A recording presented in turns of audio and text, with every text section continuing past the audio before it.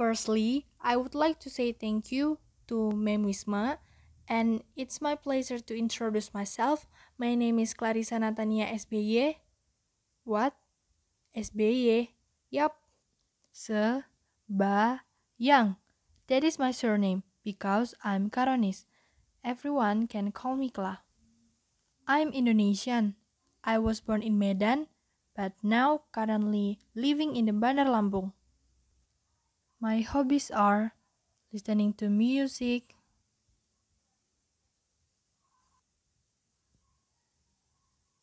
reading a books, play volleyball, and in my free time I also like to play music. As elementary school, I developed for math and science 2014, I studied at Xaverius for junior high school. 2017, I studied at senior high school 9 Bandar Lampung. And now, 2020, I'm studying at Bengkulu University as a medical student.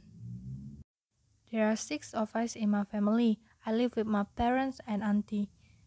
My father is a freelancer and my mother is a housewife. I have a two sisters. Both of my sisters are younger than me. I didn't come from rich people or rich family, but I really love my family.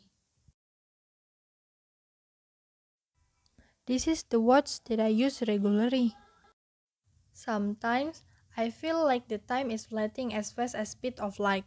Anyway, speaking of time, I'm 18 years old right now. In a 15 years, I will be 33 years old. Hopefully, I will be graduate in a three and a half years, course in two years, internship for one years, and try to be part-timer in the private doctor clinic.